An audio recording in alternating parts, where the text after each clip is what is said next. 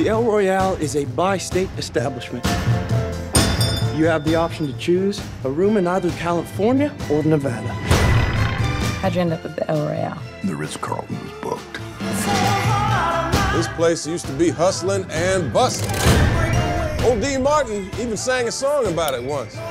This is not a place for a priest, Father. You shouldn't be here. We might need to work on your sales pitch, son. the El Royale, no place for a priest.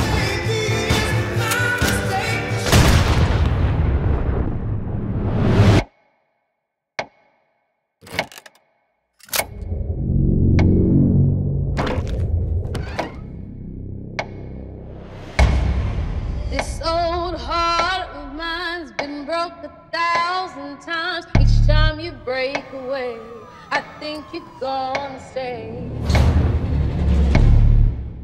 Lonely nights that come, memories that flow, bring You watching me? I only watch who they tell me to watch. Who's they? Management. Maybe it's my Would you mind opening up the door? No, I ain't gonna do that.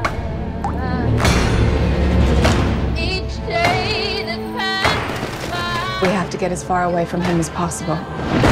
Howdy.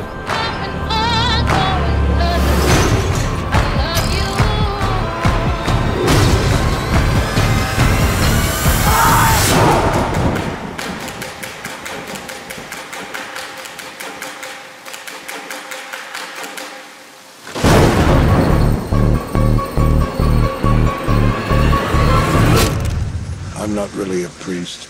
Yeah. No shit.